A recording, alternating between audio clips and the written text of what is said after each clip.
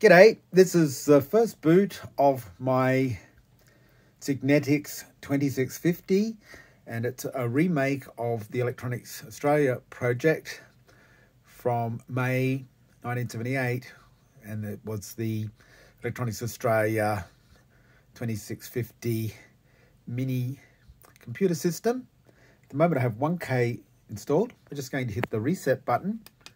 Okay, I've hit the reset button. We now have an asterisk. I'm going to do, I'm just going to examine the memory at 0440. Okay, and we'll just try changing that value. Let's put, okay, then we'll examine it again.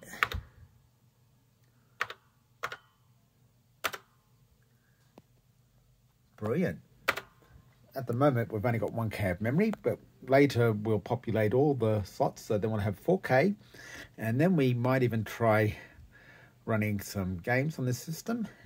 And I might even try installing Mini Basic and run that up. Okay, I'll include some links where you can find more information about this board. And it's a really great project.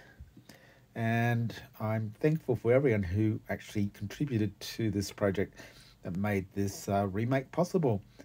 Okay, thanks for watching, and we will catch you next time. Bye.